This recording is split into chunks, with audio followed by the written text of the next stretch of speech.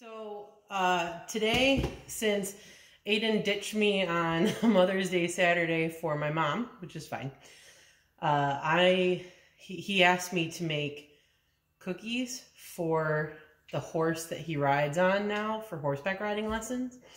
And so I'm going to show you guys how to make these little edible horse slash animal treats. Uh, they're good for pretty much any farm animal, pigs, goats, sheep, uh, horses, cows, and uh, dogs can eat them too. So we'll make these and I'll show you how.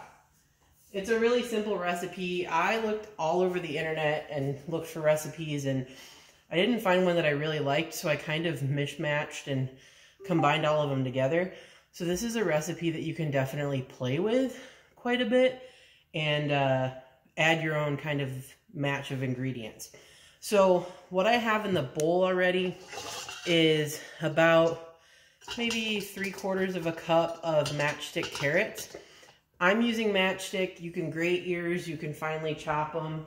Uh, I use the matchstick because I kind of think it makes it look a little bit more rustic when every once in a while you see one with a little matchstick carrot sticking out of it. Uh, but go ahead, use shredded, use grated carrots. You just need about uh, half a cup to three quarters of a cup. And so that's in there. What I'm going to do with my coffee grinder, this step you can skip completely if you want to. Uh, I'm using flaxseed because I like how flaxseed gives some good omega-3 fatty acids. I've got about a quarter of a cup of flax seeds in here. If you're going to use flax seeds, they have to be ground. So don't use just whole flax seeds because it's not going to hurt the horse, but it's just going to go right through their system. They're not going to digest it. So um, if you don't have flax seed or if you don't have a uh, coffee grinder, you can either leave this out or you can uh, just get flax powder or flaxseed flour and use about a quarter of a cup. What I also have in here uh, on the bottom, there's another half a stick, but I got one whole stick of cinnamon. If you don't have sticks of cinnamon or if you don't have a coffee grinder, just use a teaspoon of cinnamon. It's not a big deal. So I'm going to pour all those in there. And I'm going to turn this on really quick. I'm just going to have it on fine and let it zhuzh those up a little bit. And I'll show you the, it kind of makes like a pasty flour. But that's all those really good omega fatty acids coming out.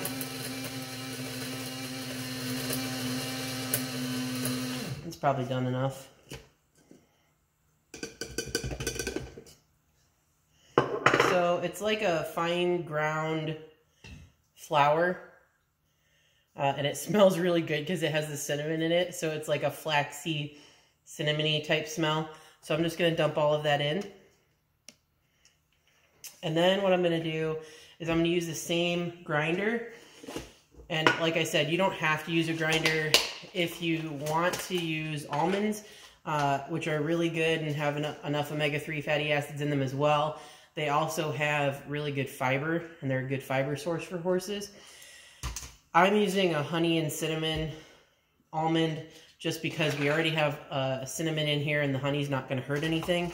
So I'm going to use about a quarter of a cup. If you want, you can use an almond butter or even a little bit of an almond flour. Just adds a little bit more protein, a little bit more fiber. So I'm going to put these in here as well and grind these up. You don't need this step can put these as a medium or fine grind. If there's a few chunks of them left in there, that's fine.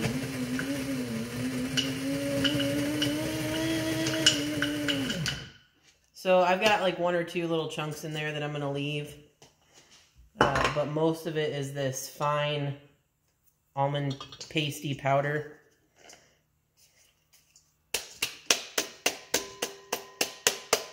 Make sure you get all of that out of there.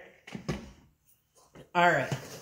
So the next step is we're going to do six cups of oats. Now, a lot of the recipes that I found called for just quick cooking oats. I'm actually going to use one cup of the whole uh, old-fashioned oats. And then about five cups of the quick oats. I mean, this batch makes quite a lot. If you can see over here on my tray, that's one batch. So, one, two, three.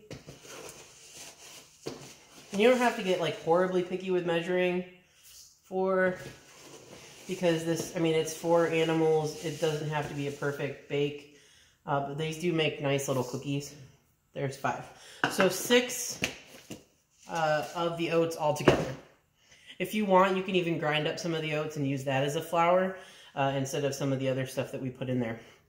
So there's that. Now we're going to do about half of a cup of chia seeds. Chia seeds are amazing. Horses can have them. They're a really good source of a lot of vitamins and minerals. So I'm going to put a half of a cup in there. And then we're going to use one cup of applesauce. So I've got unsweetened applesauce.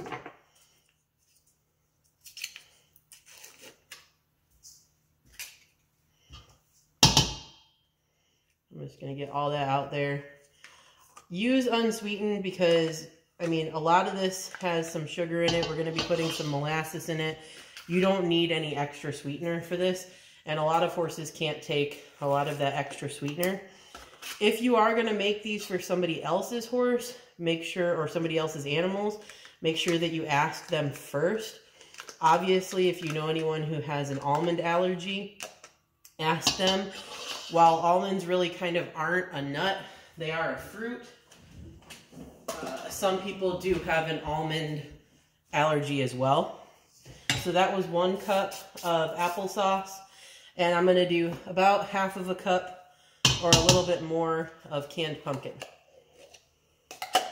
So these are really fiber and energy dense treats. I mean, I wouldn't give them a huge amount, but they're good for them.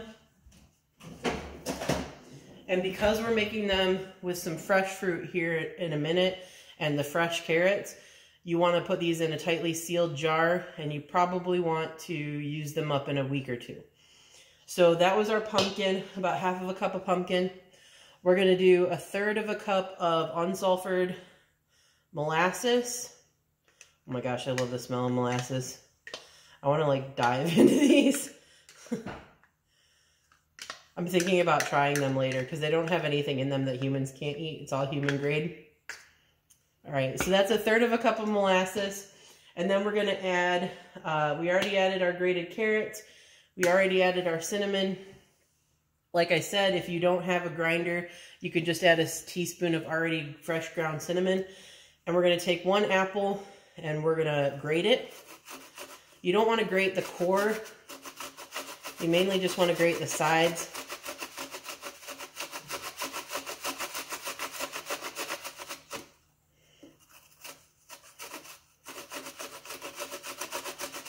This is just going to add a little bit more liquid in. Because these are a relatively dry, doughy batter.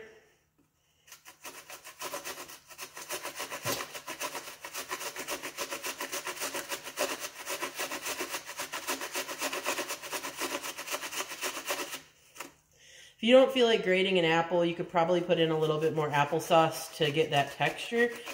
But I like the apple skin. It has more nutrients, and the apple itself has a good amount of nutrients as well. I'm going to get all that off of there. And I'm going to throw this in my little compost jar over here so I can take it out to the compost heap later. All right. So this is just a little bit of the extra that uh, batter that I had from the last recipe uh, from the last batch. So I'm just going to add this in just because I wanted to mix it all together. And then you just mix. You're going to get your hands dirty with this one. But you want to mix it all in. If you need to, you can add a little bit of water to make it a little bit more dough-like.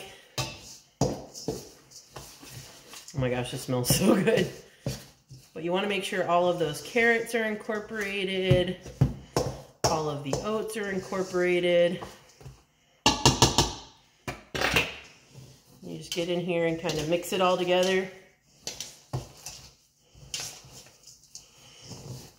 Now with this, you can just make it into balls and make regular cookies. Or you can do it the way I'm doing it, which is with a little mold. So you see it all comes together kind of in a big ball. It's going to be a little dry, but that's fine because you're going to pack it together. Let me wash my hands really quick and I'll show you how to do this. So I've got little silicone molds that I'm using. You can use you know, anything from mini muffin tins to large muffin tins to uh, brownie trays, whatever you want. But these, I have the little silicone molds. Um, I've got a flower shape and a heart shape. And so I'm just going to grease those, put them on a baking sheet. So I'm just going to use some olive oil spray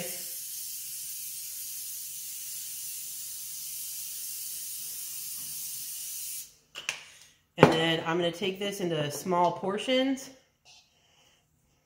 make it kind of into a ball in my hand, and I'm going to press it into my mold. You can make them heaping, you can make them so they're just filling the mold themselves. You can pretty much do whatever you want with this recipe. Then we're going to pop them in the oven at 350 degrees for about 30 minutes. If your animals like more of a soft cookie type consistency or a cake type consistency, you're done at the end of 30 minutes. Just let them cool. If they like more of a crisp type, uh, which these are kind of the crisp, I made them a little bit more crisp so Aiden can handle them a little easier when he goes to his riding lesson horse. Then after the 30 minutes at 350 degrees, you put them in at 175 for about 30 more minutes, and then you let them sit and dry. So I just have them sitting on my cookie rack and letting them dry that way. So let me go over this recipe as a recap. We have six cups of oats. I did one cup of old-fashioned oats and five cups of the quick cooking oats. We have a half of a cup of chia seeds. We have a quarter of a cup of flax seed that we've ground up. We have a quarter of a cup of honey almond or honey cinnamon almonds that we've ground up as well. And we have one teaspoon of cinnamon or I ground one stick of cinnamon. Then we have one cup of applesauce, half of a cup of pumpkin, a third of a cup of molasses, the unsulfured molasses, one cup of your either grated carrot, matchstick carrot, you know, some sort of a carrot that way. You could probably even use a carrot puree if you wanted to. It might make it a little bit more liquidy and you might want to take out some of the other applesauce.